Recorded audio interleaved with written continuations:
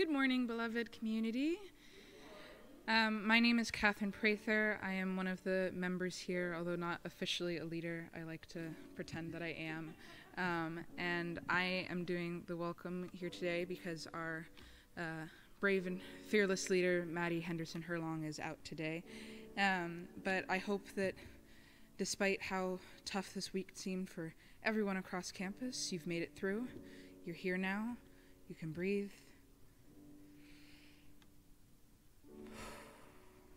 And we'll, you know, take a moment to reset, to reconnect with God, and then prepare to see whatever this last week before fall break, fall break is next week, um, brings us.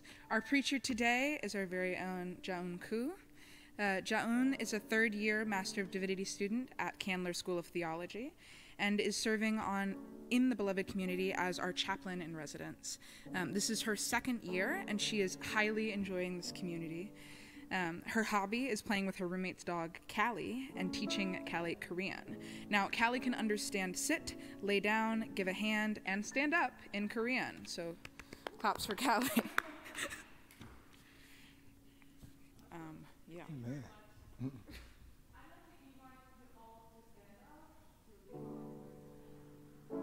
Testing one, two, one, two. All right.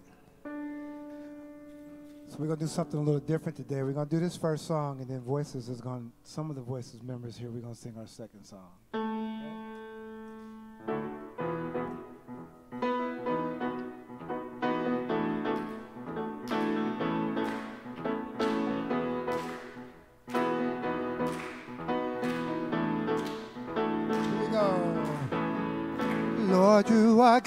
And your mercy endureth forever.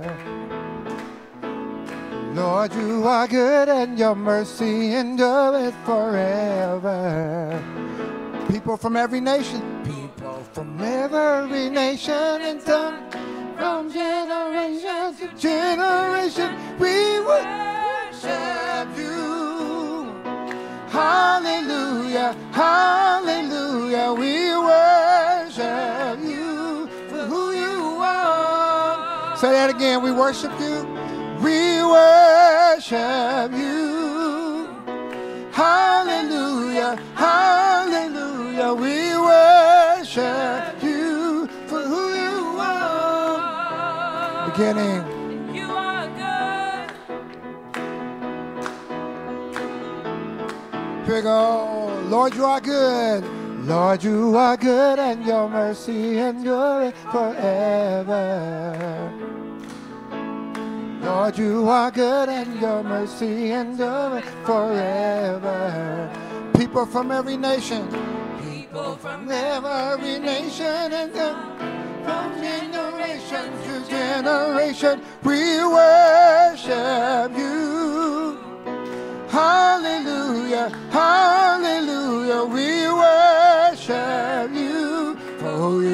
We worship you, we worship you. We're going to end it on this. Hallelujah, hallelujah, we worship you. Say that again, we worship you, we worship you, we worship, we worship you. Hallelujah, hallelujah, we worship you. One more time, you, you.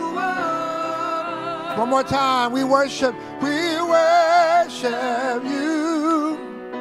Hallelujah, hallelujah, we worship you for who you are. For you are good, for you are good. Thank you so much. Y'all may be seated for a second. Come on up here, Thomas. Stay over here, Mercedes. Thank you, Bennett. On this one, you can you can just put my name for the meditation if you want, Bennett.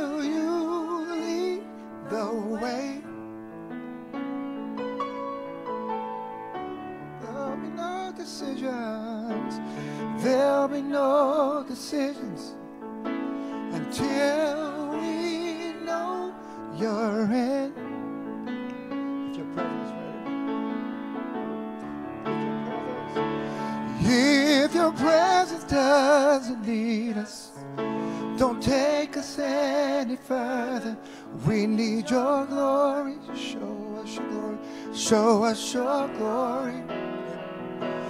If your presence doesn't lead us, don't take us any further. We need your glory. Show us your glory. Show us your glory. We will never move. We will never move until you lead the way.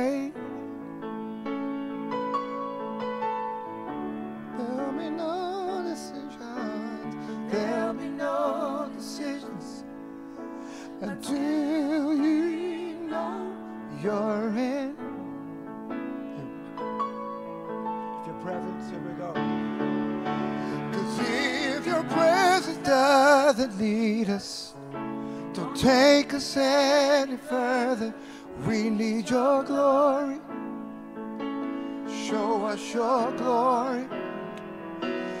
If your presence doesn't lead us, don't take us any further. We need your glory. Show us your glory.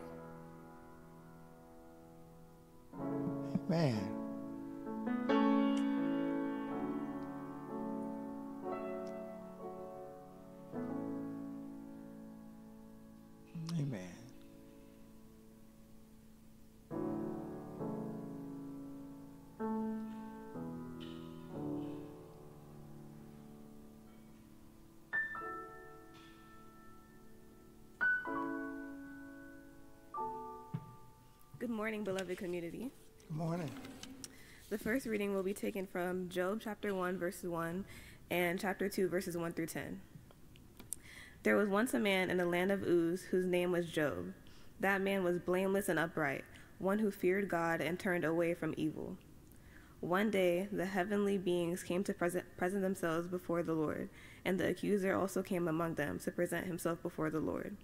The Lord said to the accuser, Where have you come from? The accuser answered the Lord, From going to and fro on the earth, and from walking up and down on it. The Lord said to the accuser, Have you considered my servant Job? There is no one like him on the earth, a blameless and upright man who fears God and turns away from evil. He still persists in integrity, although you incited me against him, to destroy him for no reason. Then the accuser answered the Lord, Skin for skin. All that the man has he will give for his life. But stretch out your hand now and touch his bone and his flesh, and he will curse you to your face. The Lord said to the accuser, Very well, he is in your power. Only spare his life. So the accuser went out from the presence of the Lord and inflicted loathsome swords on Job from the sole of his feet to the crown of his head. Job took a potsherd with which to scrape himself and sat among the ashes. Then his wife said to him, Do you still persist in your integrity? Curse God and die. But he said to her, You speak as any foolish woman would speak. Shall we receive good shall we receive good from God and not receive evil? In all this Job did not sin with his lips. This is the word of God for the people of God. Thanks be to God.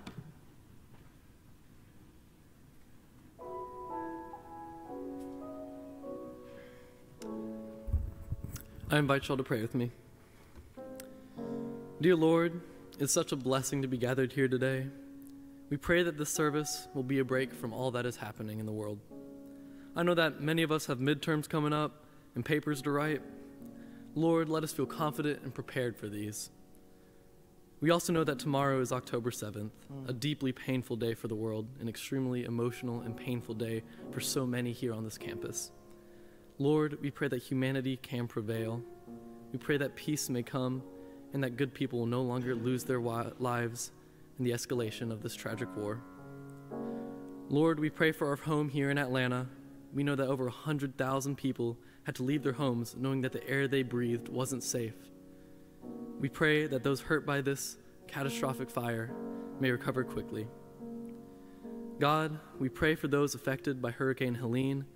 I'm an Appalachian man, and I have seen my home completely devastated by this storm. Some of the towns I grew up around entirely wiped out, friends who've been trapped in their homes and colleges without food, water, and electricity. Lord, we pray that the communities in the Big Bend area of Florida may also swiftly recover. We pray for the thousands in East Georgia without power. We pray for the homecoming of the hundreds missing in Appalachia. We pray for the hundreds who lost their lives in this tragic storm. This has been an incredibly different, difficult week for so many in this community and the world. Lord, most of all, we pray for peace. Let your love shine through us and let us be a shining light for others in these hard times. All these things we pray in your holy name. Amen.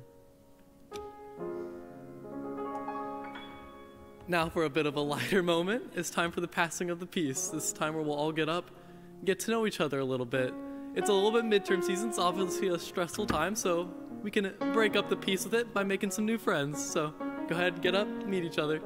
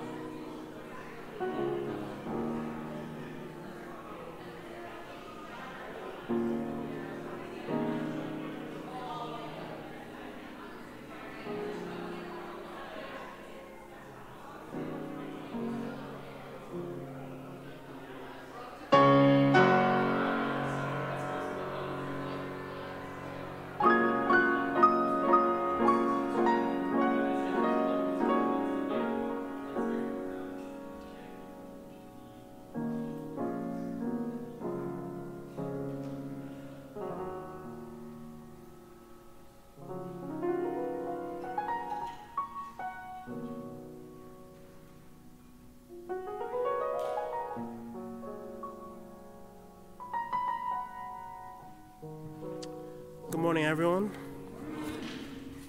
Today, the second reading is from Mark 10 2 to 16. Some, testing him, asked, Is it lawful for a man to divorce his wife? He answered them, What did Moses command you? They said, Moses allowed a man to write a certificate of dismissal and to divorce her. But Jesus said to them, Because of your hardness of heart, he wrote this commandment for you. But from the beginning of creation, God made them male and female. For this reason, a man shall leave his father and mother and be joined to his wife, and the two shall become one flesh. So they are no longer two, but one flesh. Therefore, what God has joined together, let no one separate. Then in the house, the disciples asked him again about this matter. He said to them, Whoever divorces his wife and marries another commits adultery against her. And if she divorces her husband and marries another, she commits adultery. People were bringing children to him in order that he might touch them, and the disciples spoke sternly to them. But when Jesus saw this, he was indignant and said to them, Let the children come to me. Do not stop them, for it is, to, for it is to such as these that the kingdom of God belongs. Truly I tell you, whoever does not receive the kingdom of God as a little child will never enter it. And he took them up in his arms, laid his hands on them, and blessed them. This is the word of God for the people of God.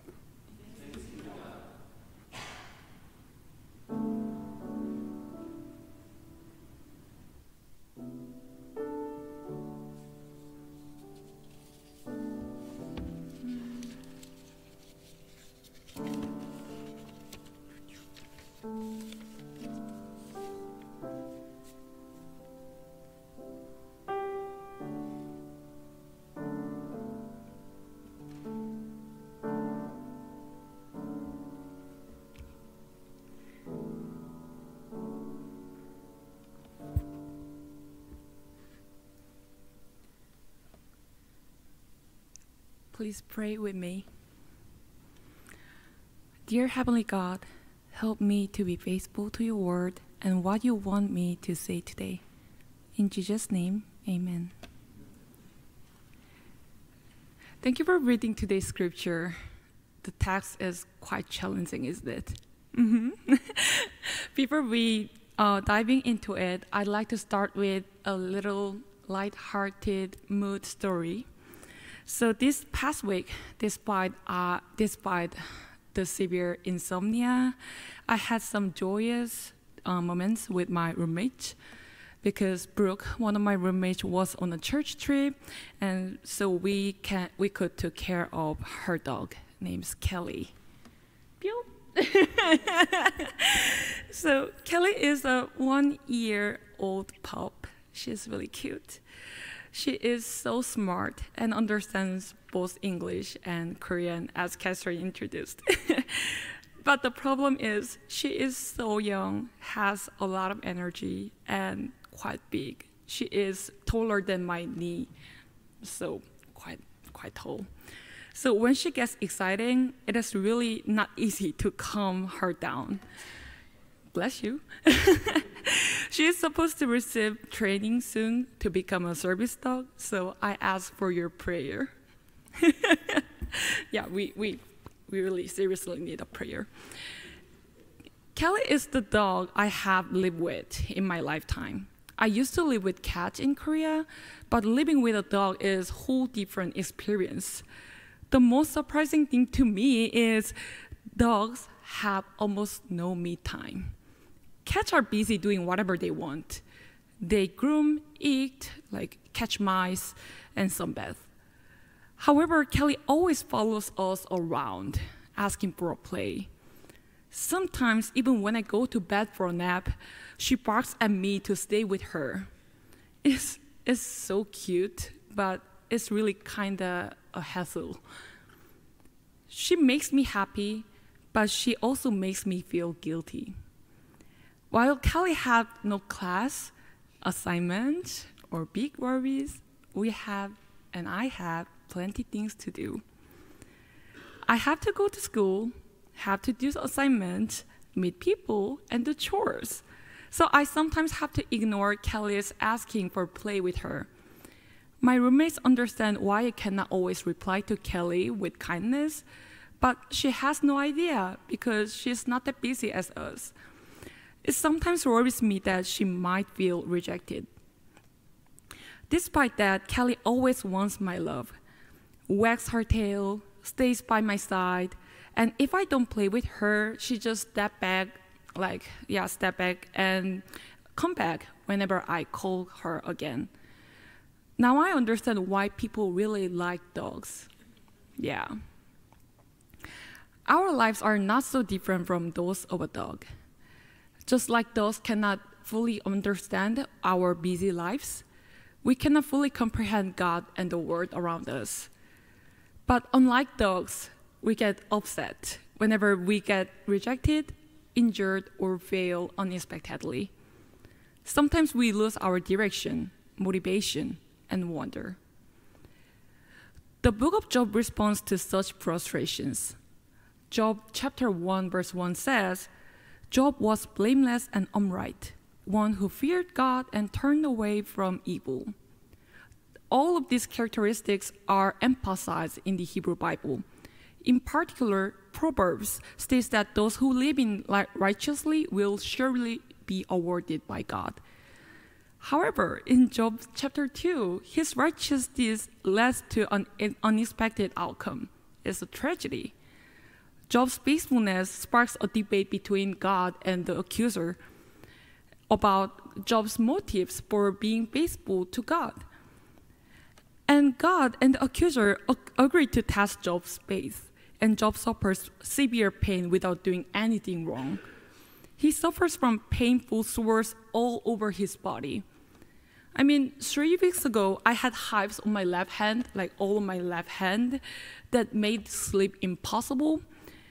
And I can hardly imagine the suffering if, if these hives covers all of my body.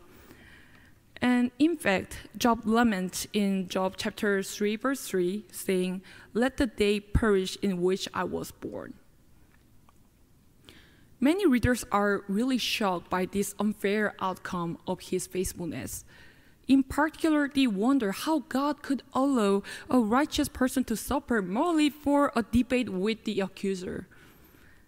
However, we must remember that this is not about the explanation of the reality, but it is the response to it. We know the reality. The reality is that all righteous people get not get rewarded, nor are all wicked people punished. In other words, we acknowledge that life is unfair and suffering is beyond our comprehension. The ancient Israelites firmly believed that those who did good would be rewarded and those who do evil would be punished. Deuteronomy chapter 30, verses 16 to 20 says, If you obey the commandments of the Lord your God, you shall be live and become numerous. But if your heart turns away and you are not obedient to God, you shall certainly perish. This belief solidified that those who prosper do so because they are righteous, and those who suffer do so because they are evil. Even though, as we know, it is always not the case. In fact, even though we do not read today, but in the middle of the part of the book of Job, Job's friends criti- criticize Job just because he is suffering, suggesting that God must be punishing you because you did something wrong. Contrary to Job's friends and against the common beliefs of ancient Israel, this story was written to respond to those who suffer without reasons and those who are stigmatized for their suffering. The story does not exist to claim that God is so petty that we suffer for no reason. This story declares that our suffering is not our fault. Because this love of God is fully revealed in the story of Job. Even though Job is not a person from Israel, he's from Uz, his story was included in the Hebrew Bible. Despite this suffering, Job did not lose faith in God. Instead, he stood up to his, to his friends who unjustly accused him and pleading to God to prove him innocent. Eventually, God never ignored him. God shows up and declares Job to be innocent. This story tells us two things.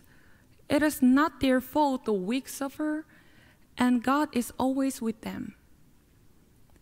We also find God's care for those who suffer without no reason in the Gospel of Mark. Mark chapter 10, verses 2 to 12, describes a debate between Jesus and the Pharisees. The Pharisees asked Jesus, It is lawful for a man to divorce his wife? They weren't really asking if divorce was permissible. They already knew that Moses permitted a man to um, break, like, write a certificate of divorce and send his wife away.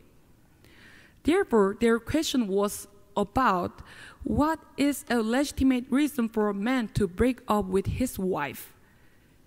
In fact, this question was to entrap Jesus. King Herod, who ruled Galilee during the time of Jesus, divorced his wife at this time. He was divorced because he was attracted to his brother's wife, Herodias, and he abandoned his original wife. So, if Jesus had said, divorce resulting from infidelity is not permitted, then Jesus would have been politically persecuted by Herod. This was the outcome the Pharisees wanted to happen. However, this question reflects the deeply rooted, violent patriarchal family system of the Israelite society. It implies that only a husband could declare divorce. Also, the question never considers the shame and suffering divorced women would face. When a woman got divorced in Jesus' day, she lost almost everything, including the right for her property. Therefore, divorced women often had to beg for food or turn to prostitution to survive. Many women suffered unjustly because of this unfair system. However, the Pharisees who do know the law so much, were so focused on entrapping Jesus that they weren't aware of how this divorce system hurt their community itself. So Jesus refused to answer the Pharisees' question directly. Moses' divorce, law, Moses' divorce law is an exception, recognizing that promises between people cannot be always be perfect. But it does not mean divorce is the ideal or desirable outcome for a married couple. Therefore, instead, Jesus explains the intent of God based on the book of Genesis. In verses 6 to 9, Jesus says, But from the beginning of creation, God made them male and female. Therefore, what God has joined together, let no one separate. Through this response, Jesus teaches that the ideal for marriage is not separation, but becoming a full oneness. Jesus' answer prevented the escalation of unjust divorces that caused innocent women to suffer even more. And his response continued to teach us that honoring and keeping promises with the vulnerable is the, in line with God's will. Mark chapter 10, verses 13 to 16 has a similar teaching. Many people brought their children to Jesus in this story. Perhaps the parents were so moved by Jesus caring for the vulnerable, and they might wanted to um, bring their the most vulnerable member, family member, their children, to Jesus and get blessed by him. However, the disciple rebuked those who brought the children Perhaps they thought it was more imperative to protect Jesus from any potential danger. It sounds like Jesus is a celebrity with bodyguards, like blocking fence. But angry, Jesus rebuked his disciples. He said, Let the children come to me, do not stop them. Jesus was furious at the disciples' actions. He came to bring the kingdom of God to earth where unjust structures disappear and all people and creations are healed. So caring for the weak is really important task for Jesus. And children were among the most vulnerable people during his times. In Israelite society, children were physically weak, mentally immature, and lacked legal property rights. If a family were torn away by divorce, they would be left without a means of survive. They represent the suffering people we see in Job and in the former story in Mark. These children is God's protection. So they approach Jesus with full trust. They need Jesus to survive, and they came to earth. They and Jesus came to earth to be with them. Yet, shockingly, we are witnessing that the disciples are not letting the kids come to Jesus. Jesus was, of course, outraged. He declared firmly, The kingdom of God belongs to children like this. So Jesus welcomed the children who came to him first. He embraced them and blessed them. In Jesus' blessing, the children could feel God's love and peace. Our life is so complicated. We may fail at things we hope to be succeed at. Minor misunderstandings might separate us from people who really wanted to know for a long time. Our well detailed plans may suddenly fall apart because of a health issue. Despite our best efforts, we sometimes become broken, we sometimes become weak and suffering. Whenever something bad happens, we want to cry like a child. Yet, to Job who cries, to women who are about to get divorced, to children who are rejected, and to us who are frustrated, God speaks. Don't blame yourself for what's happening to you. It's just that it is a complicated and unfair world. God always has our back. All we have to do is acknowledge our weakness, trust God, and take another step. As Kelly trusts me and keep loving me. So please take a look at the people around you. Mm-hmm. And together, let's say, it's okay to be weak. yeah, especially in this middle of midterm. It's okay to be weak. it's okay to be cry. It's okay to be suffered. On the other hand, some of us have already cried and received healing and comfort to God. To us, Jesus says, Whoever does not receive the kingdom of God as a little child will never enter it. So we must not forget those moments when we were weak. Just because we are strong now, we must not become like the Pharisees or the friends of Job's. We need to care for the vulnerable people around us, especially those in the beloved community. So please welcome their vulnerability and offer the care they need. The key thing is to be with, uh, to be with them at the same eye level just as Jesus embraced and blessed children at the same eye level. So let's look into eyes of the person next to each other. Kind of really cheesy, but so I bless us all to become like little children, acknowledging our weakness and relying on God's strength so that our beloved community can become a community full of love and respect. Amen.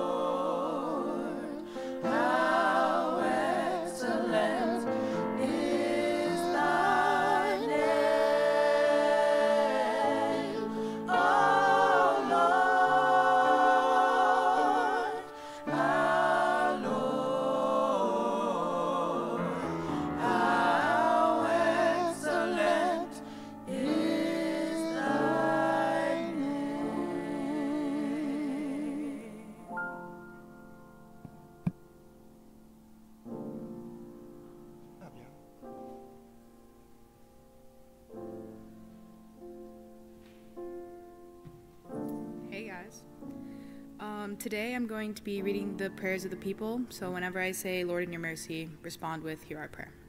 So let us pray. Dear God, thank you for all the beautiful people of beloved community. It is a blessing that we have all gathered here in the same moment to celebrate you, even with the struggle of midterms and meetings piling up.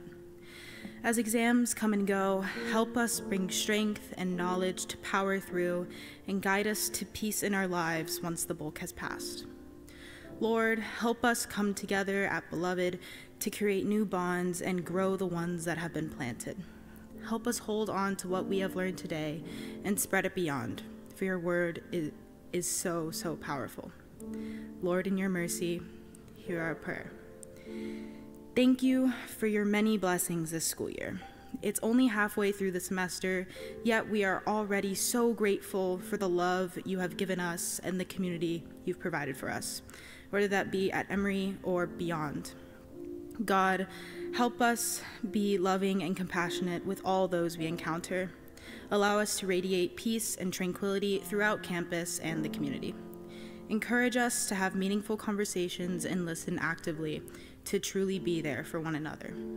Lord, in your mercy, hear our prayer. And God, we ask you today to be with us. Some days we look to the world and see despair, but Lord, you are what keeps us going. Your love is truly everything. We lift to you those who are suffering in body, mind, or spirit. Please comfort them and help us to move with compassion to share your love to all, especially those who are suffering. God, we pray for those affected by the recent hurricane and other natural disasters globally.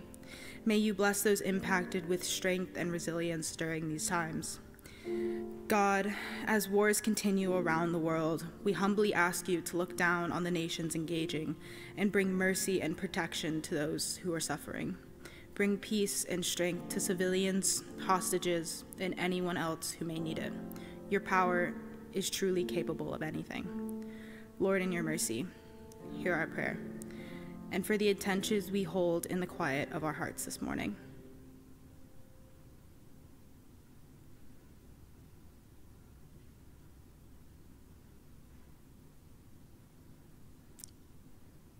Lord, in your mercy, hear our prayer. And I invite you to say the Lord's Prayer aloud with me. Our Father, who art in heaven, hallowed be thy name. Thy kingdom come, thy will be done, on earth as it is in heaven. Give us this day our daily bread, and forgive us our trespasses, as we forgive those who trespass against us. And lead us not into temptation, but deliver us from evil. For thine is the kingdom, and the power, and glory, forever and ever. Amen.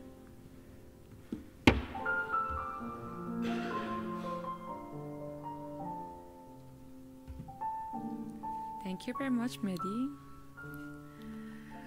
So, welcome and good to see you. So please let me let us know you are here. We have QR code. Yes. so yeah, please scan the QR code and let us know your presence today. Uh, we have no worship next Sunday on October 13th. I mean, we do not prevent you from coming here, but we will not be here. So, so please take your um, rest, or visit your home church, or visit any new church. Yeah. So we will resume on October 20th with our Pride service. So please have a restful break. Break is for having a break. So please have a break, and and and um, let's see again two weeks later. And the most important thing is we have worship Sunday on November 10th. So, woohoo! So, we will have worship like full of music, singing, or like playing instrument. So, if you want to play or sing this day, let us know, and we'd like to invite like as many people as we can so that we can enjoy the day. Yeah.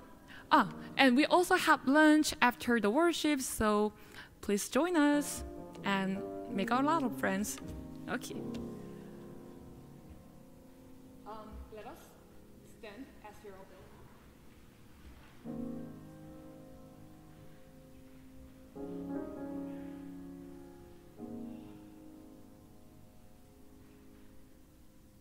Right, all right. Oh, and right before we sing the song, too, what wasn't listed on the program is, or for the announcement on November 16th, is about a month, a little over a month from now, Voices will be having another fall concert. And I want to invite anybody that hear, heard us this morning that still wants to sing with us. We just launched an entirely new repertoire on Friday night, so you'll be right in time for this concert if you want to join us. We will be rehearsing tomorrow night in uh, over in the teaching chapel. Uh, you can come anytime between six and eight if you want to join us. All right? Yes, you're invited. Here we go. All right.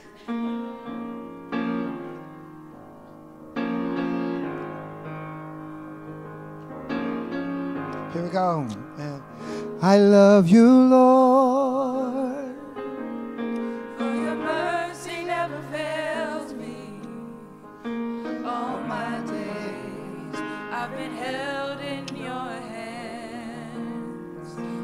Moment that I wake up until I lay my head, oh, I will sing of the goodness of God. And all my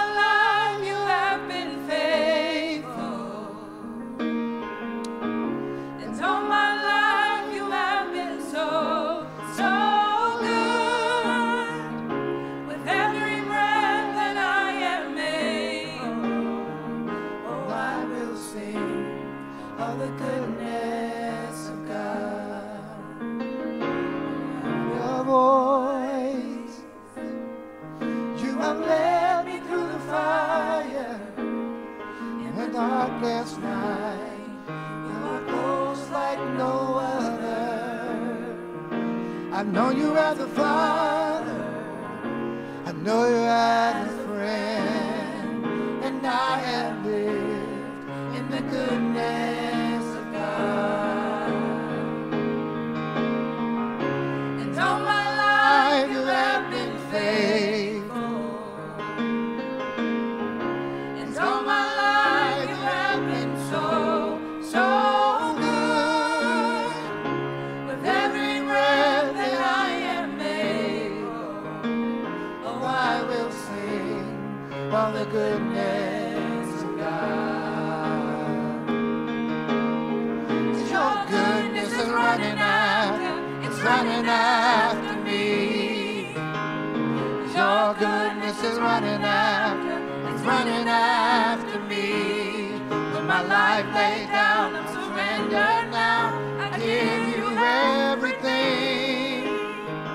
your goodness is running after, next slide, it's running after me.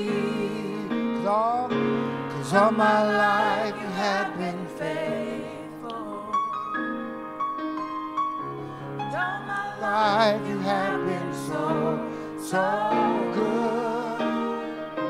With every breath I am able, and I will sing of the goodness of God. I will sing, I will sing of the goodness of God.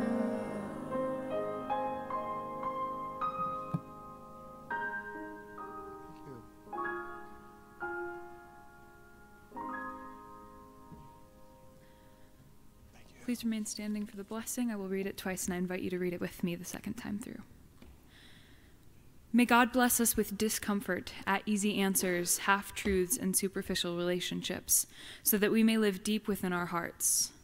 May God bless us with anger at injustice, oppression, and exploitation of people, so that we may work for free- justice, freedom, and peace. May God bless us with tears to shed for those who suffer from pain, injustice, starvation, and war, so that we may reach out our hands to comfort them and to turn their joy into pain. Uh, sorry. nope, other way around. Turn their pain into joy. and may God bless us with enough foolishness to believe that we can make a difference in the world so that we can do what others claim cannot be done. May God bless us with discomfort at easy answers, half truths, and superficial relationships, so that we may live deep within our hearts. May God bless us with anger at injustice, oppression, and exploitation of people, so that we may work for justice, freedom, and peace. May God bless us with tears to shed for those who suffer from pain, injustice, starvation, and war, so that we may reach out our hands to comfort them and to turn their pain into joy. And may God bless us with enough foolishness to believe that we can make a difference in the world, so that we can do what others claim cannot be done. Amen.